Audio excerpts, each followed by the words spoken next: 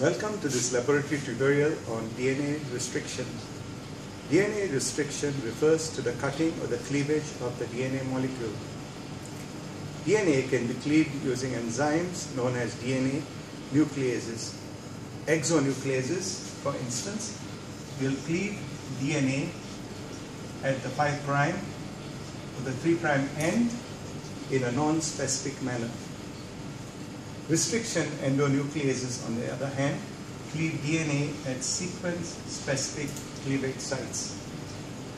For instance, the enzyme BAMH1 will cleave DNA at the location GGA TTC.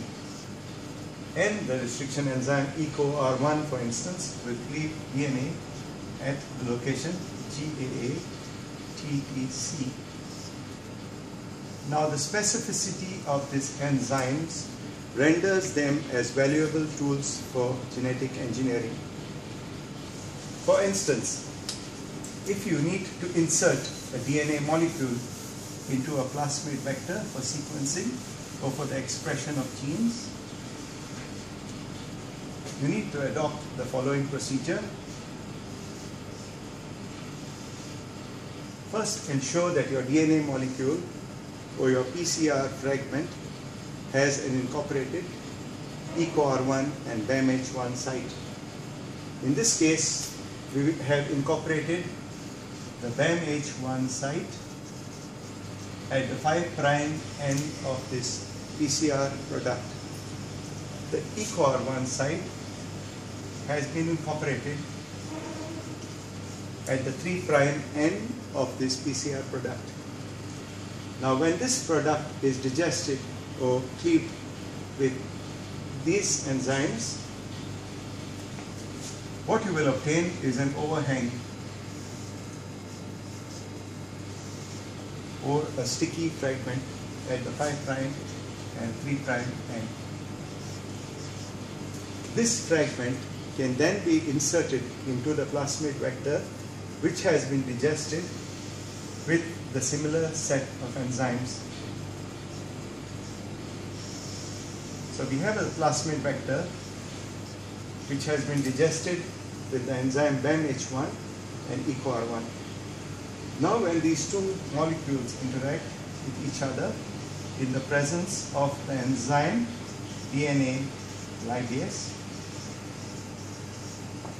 under the correct set of conditions, you will have a cleavage followed by a ligation of these two fragments.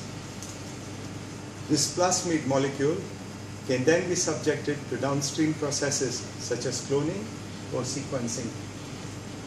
What should be noted is that restriction enzymes have very specific temperatures at which they exhibit their maximum reactivity. And these temperatures need to be taken into account when we perform a DNA restriction digest. DNA restriction enzymes may also require appropriate cofactors in their buffer solutions.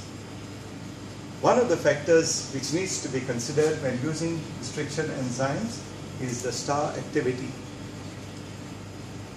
Under normal circumstances, restriction enzymes are highly specific they exhibit their reaction over a period of 2 to 3 hours. However, over digestion, for instance, extension of the digestion time to more than 12 hours can lead to non-specific activity and the complete digestion of the DNA molecule. This renders the DNA molecule unsuitable for downstream processes such as cloning. Thank you for watching this tutorial on DNA restriction enzymes. Please complete your assignment at the end of this module.